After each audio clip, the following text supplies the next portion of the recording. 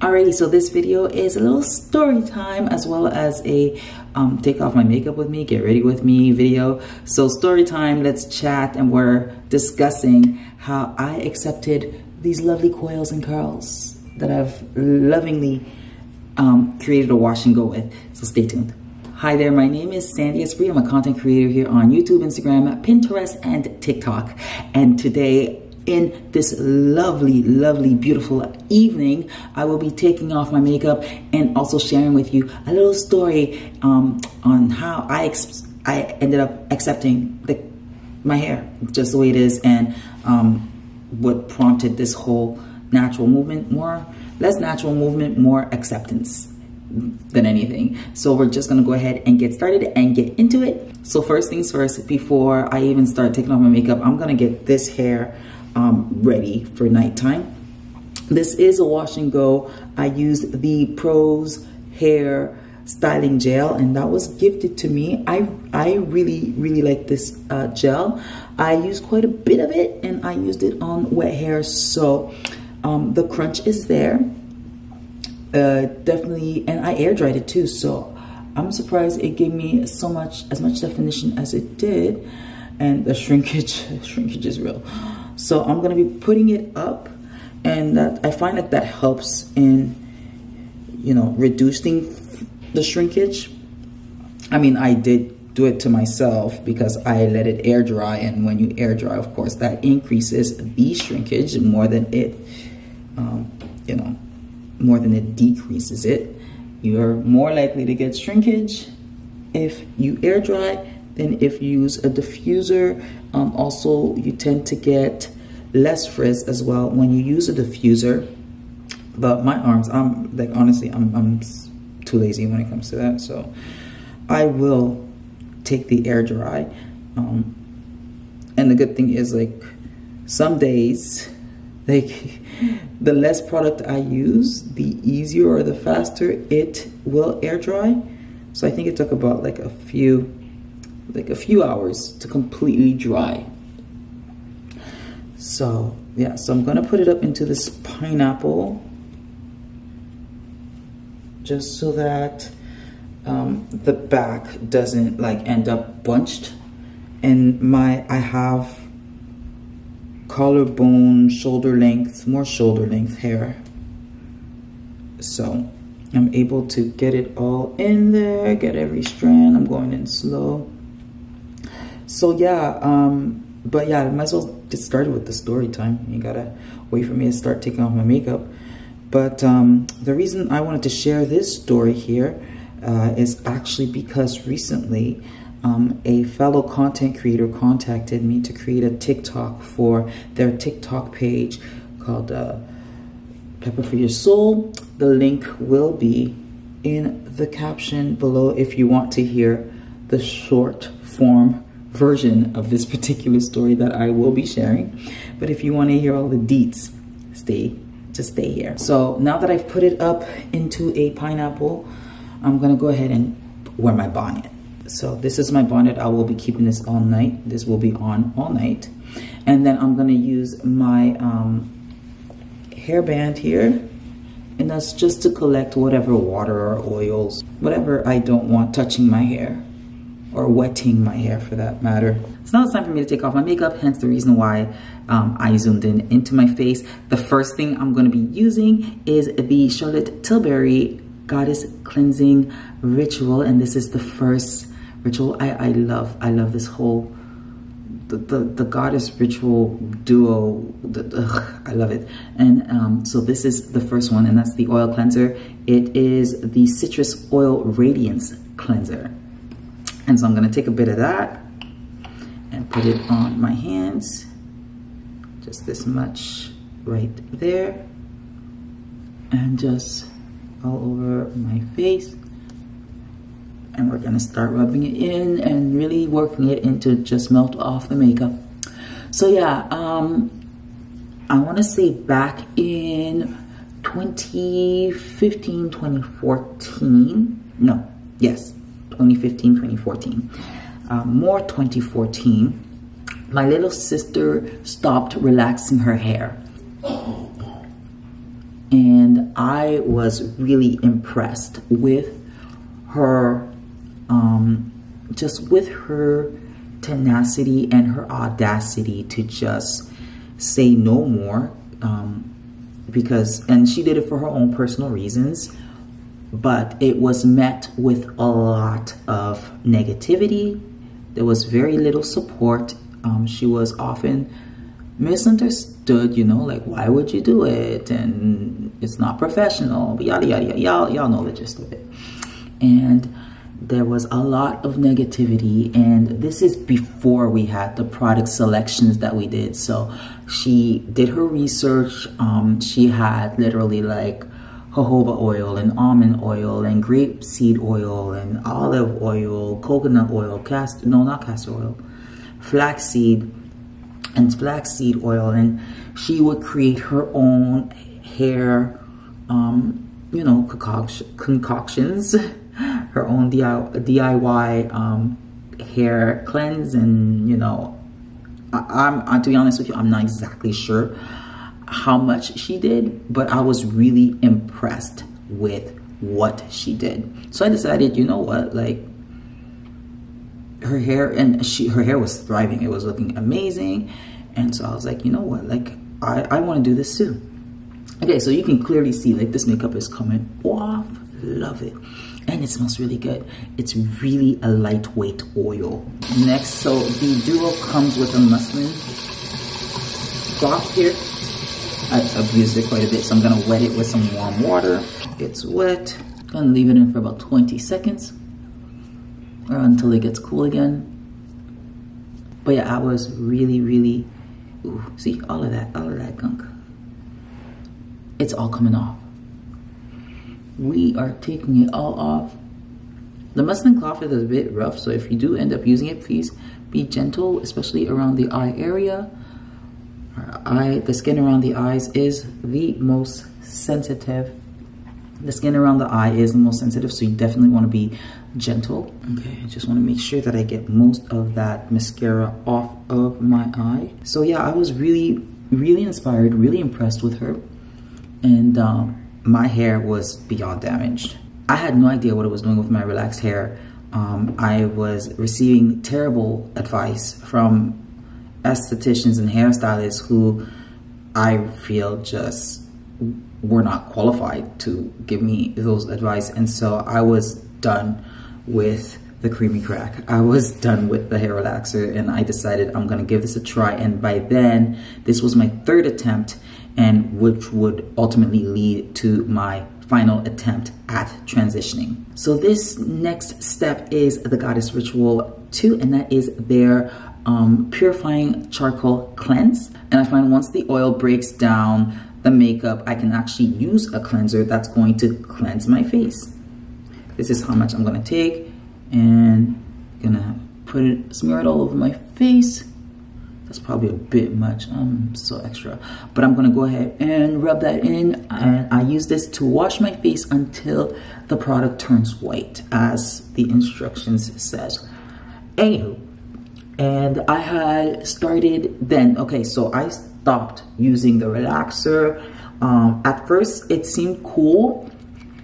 Eventually, that demarcation line, and that's pretty much where the new growth and the relaxer like the dead ends meet. And the thing I quickly realized is that um, taking care of tight curls, especially uh, tight curls as tight as mine, are is different from a straight hair. Uh, that has been relaxed. So that was the number one thing I noticed. And I was following all these gurus. I was following what my sister was doing. I had a journal. I was writing in um, I definitely kept track. I was on the LC, the you know, leave-in oil um, cream thing. Like I, I had a bunch of products. I was buying all kinds of products. Mm, shout out to Shea Moisture. Uh, they were the first product that I had used post um, during the transition period that didn't make me feel like I was going to lose my mind. Um, eventually, the more I kept doing it, the more stressed I was getting because I just got lazy. Like at some point I would get lazy and you know, when you get lazy, you make mistakes and you're not on top of your game like you normally would. Um, and that was happening more and more. And I, I was just feeling like a slave to my hair and I didn't like that.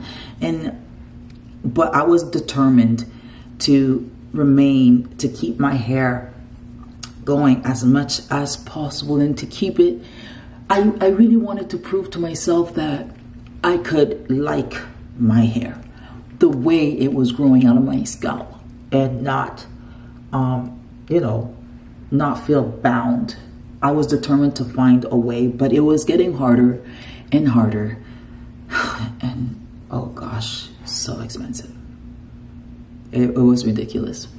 Um, and then there was that whole heat free movement and I wasn't using heat and then I was too lazy to use heat because it was taking so long to dry and I didn't know what to do. I just really had no idea what to do. And um, I remember what made it official that I wasn't going back because I was thinking, okay, maybe I can Texlax my hair, you know, like put don't leave it in as long, still retain some of that curl and it's technically not a chemical relaxer. It's a Texlax. You know, you do the same thing, but add a different word to it, and all of a sudden it's rebranded into something else. So now that the product has turned white, I'm going to use that same cloth that I used to rinse off, rinse off my face. Um, so yeah, I was just really, um, and I also was not met. There was not much support. I was very much um, comments were made. And, you know, because it's family and people who know you so well, you kind of brush it off. I brushed it off. I thought, oh, well, whatever. Um, I was dating my now husband at the time. And he he was so supportive, like just really, really supportive. I was also wearing wigs a lot too. But I remember there was this one wig that I was wearing and it was a curly, a curly wig, tight coils type of wig, but with looser curls than my actual natural hair. But a lot of people didn't know it was a wig. I love that wig. I don't know what happened to it, but it's no longer in my possession. Um, but yeah, I wore lots of wigs because I want you know, keep my hair low manipulation, right? Um, and there was a, a friend of my mom's who made a comment. And, um, and I wasn't too fond of that friend. I literally thought this guy was just like a joker. But a friend of my mom's and and he said, um, Sandy would be pretty if she did something with her hair. Like, sir, sir, who are you to let my mother know that I need to do something with my hair to look pretty. Like, who are you to determine what makes me pretty? And I remember hearing that comment, and like, it must have shown because like my emotion must have shown on my face because I remember the backtracking and the backpedaling of, oh no, it wasn't meant like that, but you know. And I knew exactly what that meant. I knew he meant if my hair was straight and relaxed, I would be pretty. Like I had the potential to be pretty, but I just needed to do my hair. And that for me was it. Like, how dare you set the standard for what makes me pretty? Who are you? What value do bring do you even bring into my life? The only comment you have to say is how pretty I would look if my hair was done. Like, excuse me, sir. Who are you? What business do you and I have together? None. So I was vexed. And that moment sealed it for me. Because at that point in time, I'm like, the people who matter most, like at that stage, it was like my mom and then, you know, the elders of my community. And I had received not much support, but like most people were like, whatever. But that comment by that person, and I was expected to esteem it at such a level by this stranger. just really annoyed me. It irked me, especially knowing that it was coming from another black man. Oh, so now um now that I've washed my face, it's now prepped for some serum. So I'm gonna use the Charlotte's Magic Serum Elixir, Elixir Magic Serum Elixir. Has tons of great stuff in, in, in there. Like it's really moisture infused and my face soaks it in like crazy. It has like vitamin C, polyglutamic acid, um, like a bunch of stuff. And it really just, like my skin loves it, just soaks it in. If you have thirsty skin, like thirsty skin, dehydrated skin, that is the serum for you. It really changes things. But yeah, I, I, it, it yeah, no, uh, no, sorry, sorry, sorry. We're not, we're not, we're not, we're not that close. So, so, that's when I realized I was like, I am not letting nobody, nobody gets to determine what makes me pretty, especially if you have nothing to contribute to my life of substance, because he surely did not. Um, I'm gonna use the Charlotte Tilbury Magic Eye Rescue. I was watching her video on how to apply it and she brought out some really good tips like using your ring finger because it has the least amount of strength and you know around your eye is has the weakest the, the, most sensitive area is around your eyes so and then you pat and then like you're supposed to right in there and from there you pat all the way back all the way back here and bring it back and then pat all the way out and then and then you massage at the front. Pat pat pat pat pat. Massage. That actually feels good. Right in the eye socket. Um yeah. And that was it. That sealed it for me. I'm like if i was going to go back sir you just made sure. Now now i'm gonna show you what doing my hair looks like because it's my hair. It's my curls. Um i don't think anybody should have the audacity to say that the way um, my the way my hair grows out of my body the way that my the curls in my hair make me unpretty. I, I, I to me that's such a gross disrespect. Um, it's my hair. These are my genes. This is the way God made me. That's the way God designed my curls. And he said I was pretty enough with my curls the way they were. Not saying that if you so choose, and you know what people do with their bodies is their problem. That's fine. And it, you know, that's your choice. But as for me and my hair, we won't praise the Lord the way it's created.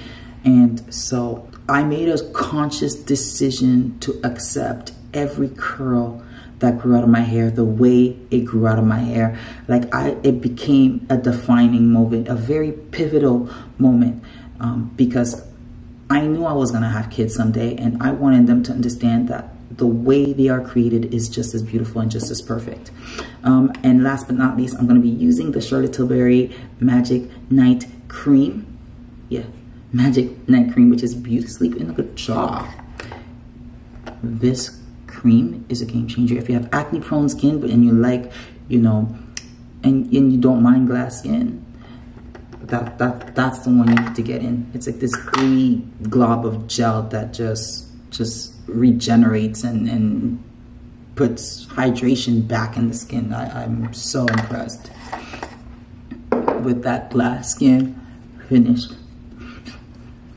Yeah, and so pretty much that's when I accepted my skin, my hair, especially my hair. I was I was determined at this point, like even if the products weren't made available to me and I had no idea what I was gonna I was doing with my hair, I was determined not to give up on myself and not to give up on my hair. And to love my hair the way it grew out of my body. And yeah, that's the long form, that's the long version. And just like that, my nighttime skin routine is done. So I hope you enjoyed this video. I hope you enjoyed this story time. And um, listen, if there's any comments, please let them just drop them, drop, drop, drop, drop, drop them down below. Don't forget to click like, subscribe, and comment. And um, of course, all the products that I have used on my face is going to be listed in the captions below. listen, it's Vlogmas season. I hope that you reach a point where you accept every part of your body. And if, you know, if changes need to take place, so be it. Like, I mean, my hair is not naturally red, but I dyed it red. It's all good. I mean, it, do you, it's your body. But I really hope that this holiday season, you know, I, I get it family gets together, family feels free, they feel safe, and they'll say whatever comes out of their mouths. Um, just don't let it bother you and change the way you look at yourself. Always look at yourself with love, grace, and and acceptance because you are worthy and deserving of love. So Vlogmas series is still happening. The giveaways are still happening. Come back tomorrow. There's going to be another video. And I will see you in the next Vlogmas video. Ciao for now.